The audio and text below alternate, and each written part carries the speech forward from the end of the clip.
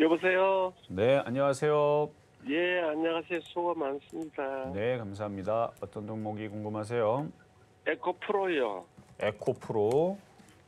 에코 프로. 자, 매수 가격하고 비중은 어떻게 되세요? 10만 원에 6%예요. 10만 원 6%. 예. 음,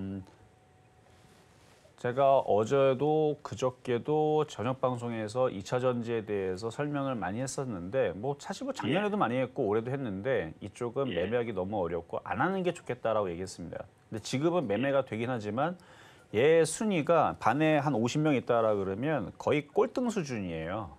예. 그러니까 얘보다 매매가 더 잘 되고 똑똑한 애들은 1등부터 20등 요 안에 있는 애들 하나 해야 되거든요. 근데 예. 너무 어려운 거를 지금 선택을 한 거예요. 난이도가 높아요. 매매에서 먹기가. 그러니까 잘안 움직이기 예. 때문에. 근데 지금 이추에서는 또 장점도 있어요. 잘 안 빠져요, 또.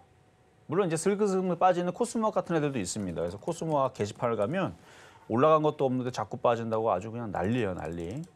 그러니까 개인 투자자들 떨어내려 그러는데 그 과정이 너무 힘들죠. 지금 많이 빠졌는데도 얘는 17%나 빠진단 말이에요. 최근 일주일 동안 이래 버려요 지금. 그러니까 코스모 에코프로도 많이 빠졌다고 지금은 안 빠지고 있는데 얘네들이 또 장난치다가 또 더 빠지면 2, 30% 빠지는 것도 충분히 가능합니다. 그래서 이거는 정신을 바짝 차리고 그냥 냅두면 되는 게 아니고 어, 다시 올라오면 또 한번 팔아주시고 그래서 10만 원은 복귀가 가능합니다. 좀 세게 올라오면 예. 12만 원, 뭐 15만 원도 가능한데 얘네들이 지금 이 그러니까 이걸 드리블하고 있는 기관하고 외국인들이 일부러 안 올려요 지금.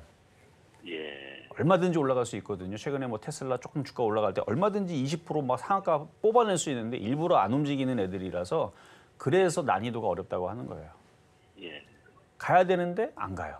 일부러 안 가는 거예요. 일부러. 그러니까 언제 갈지를 모르니까 이게 어려운 거예요. 얘네들은. 그래서 얘네들보다는 조선주라든지 자동차 부품주라든지 지금 많이 조정받았던 뭐 화장품이라든지 이런 애들도 있고 근데 그보다 더 좋은 거는 제가 찝어드렸잖아요. 원전 테마, 전선 전기 이쪽으로 하는 게 마음도 편하고 여기서 시간 보내는 거 여기서 뭐 10만 원, 12만 원 먹을 그 시간이면은 원전이나 이런 데 들어가 갖고 두 배는 더 먹을 것 같으니 이거는 그냥 적당히 어느 정도 10만 원만 회복이 되면 종목 교체를 하시는 게 좋겠다 말씀드리겠습니다.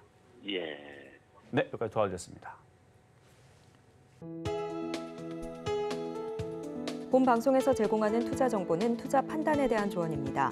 방송에서 제공하는 주식의 가치, 가격 상승 및 하락에 대해서는 방송사에서 보장하지 않습니다.